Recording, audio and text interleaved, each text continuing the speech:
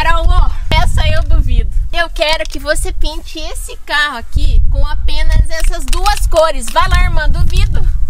Duvida? O que? Pintar um carro usando canetas! Caraca, os desafios estão cada vez mais difíceis e eu amo! Peguei as duas cores, preto e branco, e comecei então a pintura e pode ficar tranquilo, tá? A caneta Posca tem tinta base d'água, então em superfícies lisas como a do carro, ela sai 100% se você limpar com um paninho e tudo mais. Mas eu tô caprichando aqui na arte porque eu vou sair por aí dirigindo esse meu poçante totalmente estilosa com o carro desenhado. Então já vai deixando muito like nesse esse vídeo, compartilha, envia para um amigo e comenta aqui o próximo desafio que eu tô gravando os mais criativos. O carro ficou assim, de carona com a felicidade, e nesse vídeo tem um erro. Será que você consegue descobrir? Deixa aqui nos comentários se você achar. Beijos, fui!